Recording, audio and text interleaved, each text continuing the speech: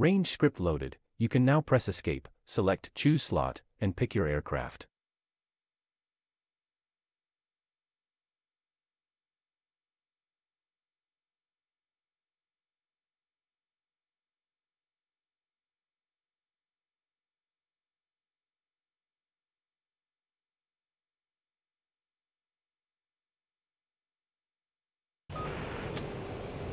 You have chosen to start the mission in the air. Please set the throttle lever and use trim to level the aircraft and navigate towards waypoint B3, where the target is. Maintain a speed between Mach 0.65 to 0.75, and an altitude under 150 meters above ground level. The RB-05 is an early multi-purpose missile, which can be used against large ground fixed targets, ships, and also against non-maneuvering aircrafts. While the Viggen was being designed, its only anti-ship guided weapon was to be the existing RB-04, but this missile could only be used in open sea because of its primitive seeker and navigation systems. So, a secondary weapon was needed for archipelagos and beach landings, and maybe do double duty against other ground targets. This need eventually gave origin to the RB-05, designed by Saab and Bofors, developed in the 60s by Saab Scania, and roughly based on the American AGM-12 bullpup, which Sweden had tested extensively.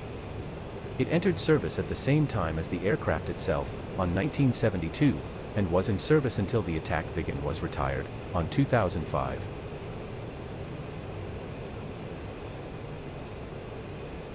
Its maximum effective range is 9 kilometers, and it is manually guided by the pilot employing a small control stick mounted on the right console. Guidance commands were transmitted to the missile via a jam-proof radio transmission link. It had a rather large 160 kilograms warhead, which made this weapon effective against targets like warships and bridges. The missile has a bright orange flare on its tail, and employs a smokeless liquid fuel rocket engine, so that the pilot can see the missile and guide it onto the target. The RB-05 propellant was highly neurotoxic, and because of this the missile was delivered to service inside a gas-proof bag, and the ground crew treated the weapon with extreme caution. The missile has three different fuse settings, selected by the pilot according to the target type. Mark, for ground targets, the missile will detonate on impact. SJO, for naval targets, the missile will detonate after impact, to allow it to penetrate inside the ship before exploding. Luft, for aerial targets, this is a proximity fuse. The missile will detonate when within 6 meters of an aircraft. The RB-05 employment does not need a precise QFE, nor a target waypoint. However, having a waypoint over the target does allow the pilot to know precisely the range to target. The RB-75 Maverick was added to the Viggen on 1977, but the RB-05 remained relevant as a secondary weapon, due to the Maverick's problems with high brightness environments such as snow-covered fields, and because it could be jammed by using smoke. To be accurate, the RB-05 demanded considerable skill for the pilot to control it, so the Swedish pilot's training program included 1,000 attacks in a simulator during a short period, and thereafter the pilot's ability was maintained with a few simulated attacks per month. The only RB-05 simulator was initially installed at Söderhamn, the airbase of the F-15 wing. The target scenery was projected onto a big screen and the scenery was a model landscape with a camera traversing over it. When the missile was launched, the pilot had to steer a red dot into a ring that approached you, superimposed on the target. Before shooting on the Viggen with a live missile, there had to be a training in the SK-61 Scottish Aviation Bulldog trainer, with a couple of cheaper RB-53 Bantam TOW missiles, which used a similar guidance system even if it was wire-guided instead of radio-controlled. As the SK-61 is much slower, the firing distance and speed was scaled down, so it was still quite realistic. After finishing this training program, they got to launch one live RB-05. The RB-05 known specifications are listed below. Press space bar to continue. As target for this training mission, we will use an old two-floor building, located on an abandoned airfield near Antelope Lake, southeast of Tonopah Test Range, plus a weapons range script developed by the user Ciribob, which will allow you to gauge your delivery accuracy. The RB-05 can be used against ground, sea, or aerial targets. Be sure to select the correct fuse option for ground target. The suggested attack direction is from south to north, but you can actually attack from whichever direction you prefer, taking into account that the maximum range of the RB05 is only 9 kilometers. As the RB05 requires quite a bit of practice to be accurate, we will use a DCS option that allows unlimited munition, so that you can shoot as many times as you want, until the target building is destroyed. However, keep in mind that on operational missions you will only have a maximum of two RB-05 missiles to shoot, so strive to employ no more than two missiles if possible. You can leave the range by flying north, towards waypoint B4. At any time, you can access your accuracy statistics by calling up the F10 option of the communications menu. Press space bar to begin the training.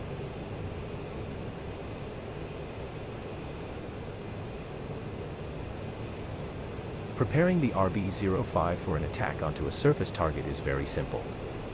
1. Master Mode Selector, set to ANF, Attack. However, note that the RB-05 can be launched also in nav mode. The HUD symbology will be identical on both modes. 2. Weapon Selector, set to mark for a ground target. If the target were a ship, you would then select SJO. Aerial targets will be seen on our next RB-05 mission. 3. Set HUD mode to low altitude, by setting the Slav SI switch to FRAN, off. The Viggen's computer does not have a special HUD mode for the RB-05, but decluttering the HUD with this switch will allow for an easier view of the target. 4. Set the altitude source selector, HOD CISI, to RHM. This will ensure the radar altimeter is used as the primary altitude source, which has a more accurate reading at low altitudes. 5. Adjust HUD brightness. You may want to reduce it, to make it easier to see the RB-05 flare after it is launched. The RB-05 missiles are now ready to use. Press spacebar to unpause and continue the training.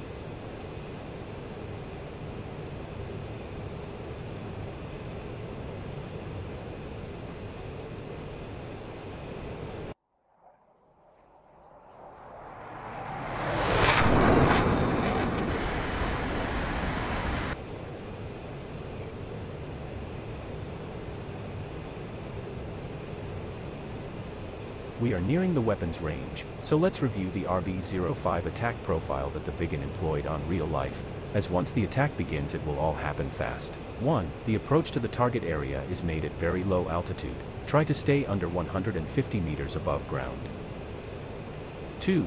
If you have a target waypoint, as is the case on this mission, use the distance indicator to keep track of the target range. Else, you will have to visually judge the range. 3. At 12 kilometers from the target, perform a pop-up maneuver. Oversea or flat terrain pop up to 200 to 250 meters, over rough terrain you can reach higher, to between 500 and 800 meters. 4. Maneuver to locate the target, then fly towards it on a level attitude. In real life you would not fly straight towards a target, to avoid being an easy target yourself. Instead turn 15 to 30 degrees to the left or right of the target. 5. Enable the attitude hold autopilot, once you are on the desired heading and attitude, so you can concentrate on guiding the missile. 6. At 9 kilometers from the target, set the trigger to unsafe. At this point, the missile activates its onboard battery, to power its radio receiver and guidance unit. This battery only lasts for around 40 seconds, so this procedure step should be done just before firing. 7. Fire the missile, by pressing the flight stick trigger, once fired, the missile will activate its tail orange flare and pull up slightly, to ensure that it enters into the pilot's field of view. To steer the missile, you may find it helpful to zoom onto the HUD view, to more easily view the flare and the target. Press spacebar to continue. The RB-05 missile controller is on the right side console. It's basically a hand grip, with a small thumb and index finger joystick.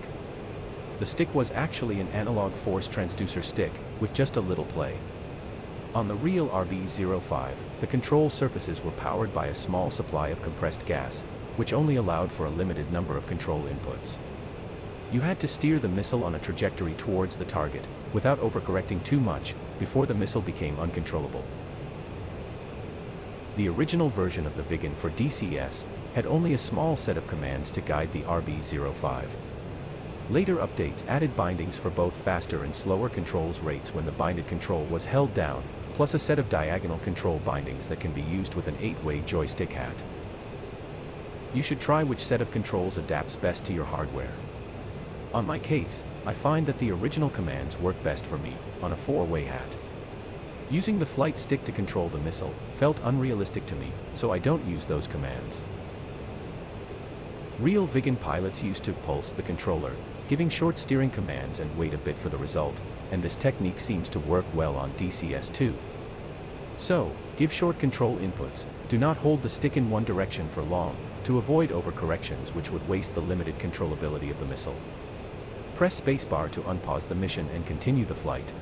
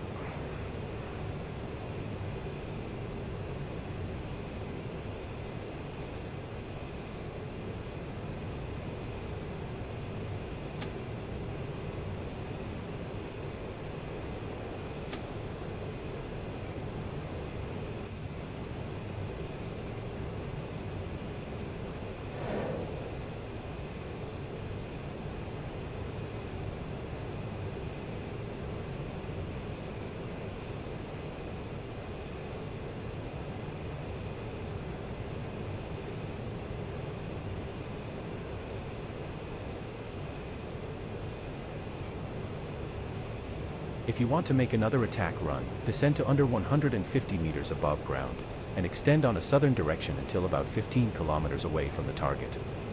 At that point you can turn back to make another attack pass on the target. If you prefer to end the training, fly instead towards waypoint B4. Set trigger to safe, the next RB-05 missile is automatically selected.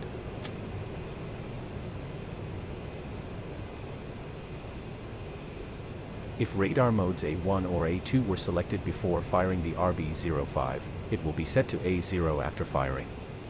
However, the radar mode switch doesn't really move to its A0 physical position, thus to engage A1 or A2 mode after firing a missile, the switch must be cycled back to A0 and then to A1 or A2.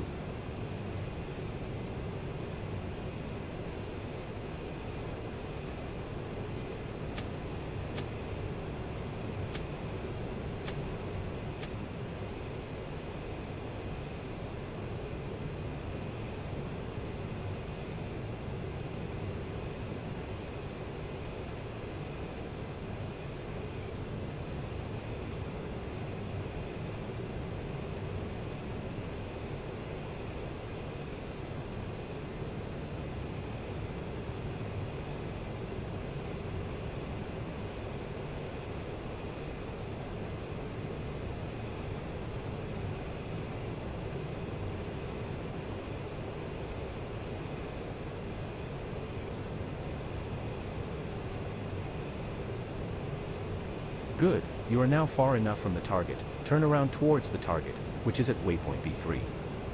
Maintain a speed between 0.65 to 0.75 Mach, and an altitude under 150 meters AGL.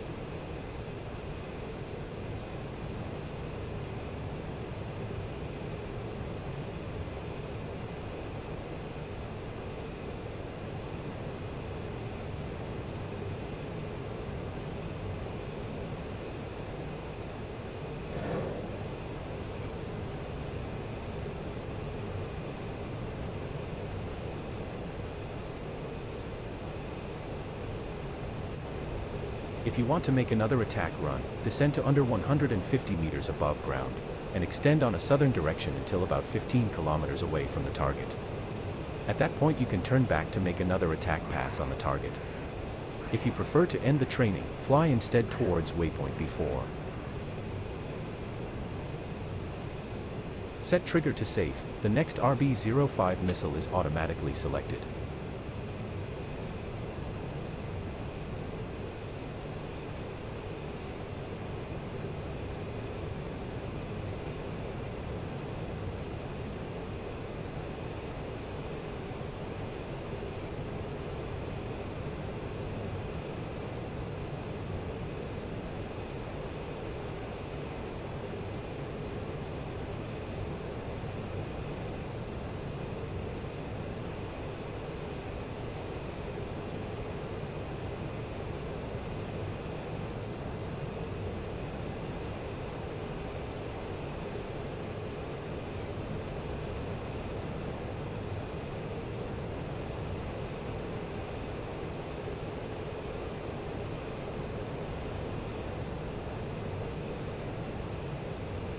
Good, you are now far enough from the target, turn around towards the target, which is at waypoint B3. Maintain a speed between 0.65 to 0.75 Mach, and an altitude under 150 meters AGL.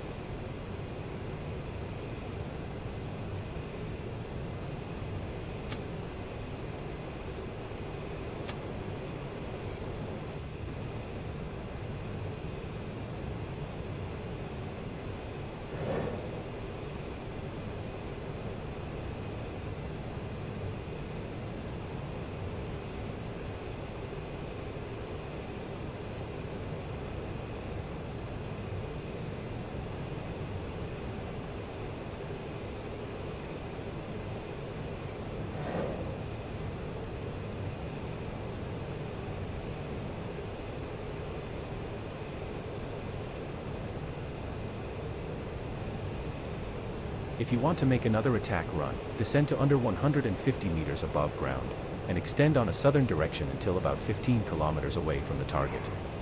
At that point you can turn back to make another attack pass on the target. If you prefer to end the training, fly instead towards waypoint B4. Set trigger to safe, the next RB-05 missile is automatically selected.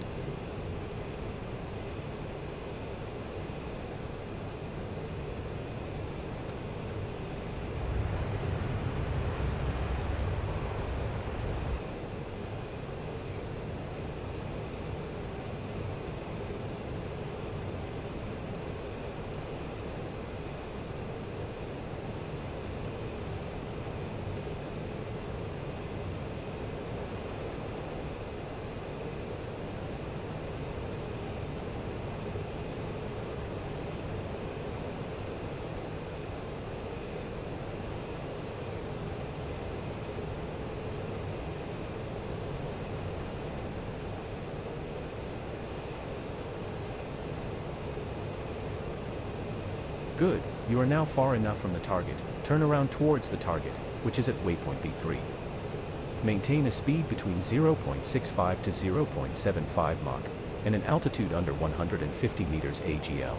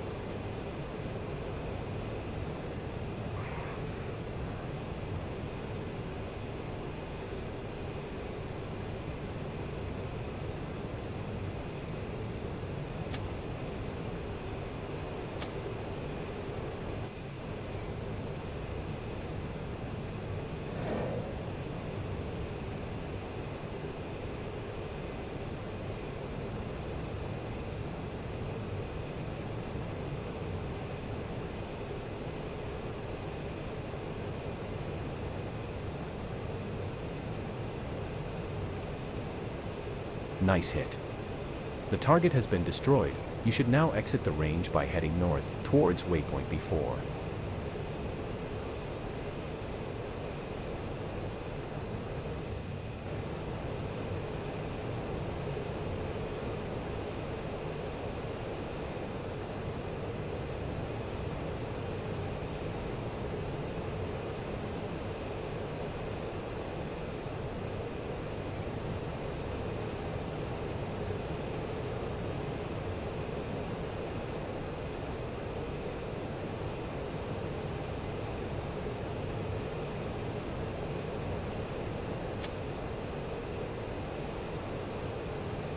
Deactivate the armament with this short procedure. 1. Set trigger to safe by clicking on the stick safety cover. 2. Set master mode to nav and press B4 to select the next waypoint. Good, this completes the weapons disarm procedure.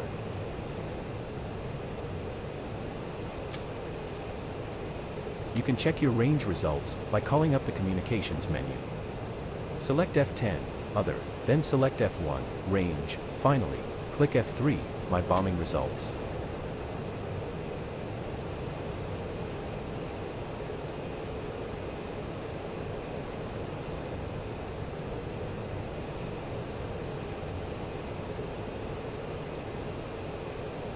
You have completed the main subject of this training mission. Press spacebar if you want to fly back and land at Tonopah, or press backspace to end the training now.